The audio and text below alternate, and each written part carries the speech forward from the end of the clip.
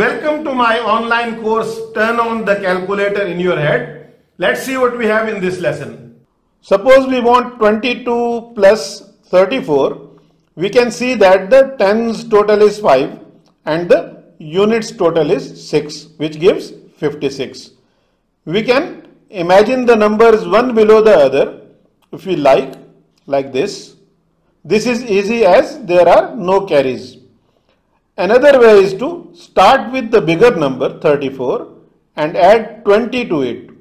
This makes 54. Then add the two units to make it 56. Okay.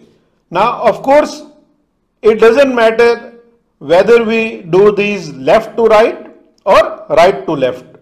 In other words, it doesn't matter if we do the tens digits first and then the units or the other way around. Subtractions too are very easy. For example, 57 minus 33 is 24. Just subtract the tens first and then subtract the units. And we can imagine it like this if we like. If you want to get full benefit of this course, do the practice sheet of this lesson before moving on to the next lesson.